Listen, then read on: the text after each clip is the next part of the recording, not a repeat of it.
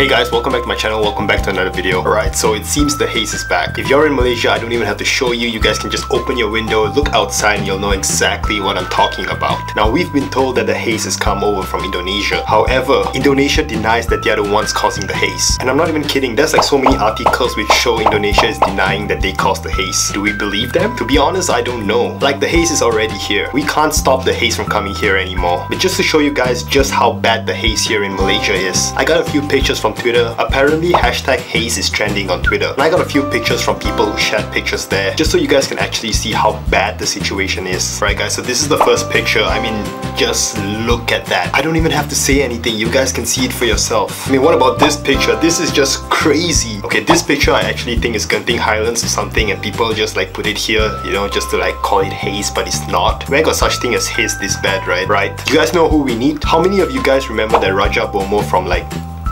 five years back. This guy actually has a vase that can suck the haze, or so he claims. vase that can suck haze. 2019 is such an amazing year to be living in, but yeah, we need this guy. Only he can save us now. Oh, also schools are like closing down right now because the haze is so bad. Yeah, it's really bad. But yeah guys, that's it for today's video. If you guys want to support my channel, don't forget to subscribe. If this video was helpful or not helpful, just go and like it, and I'll see you guys in the next video. Peace.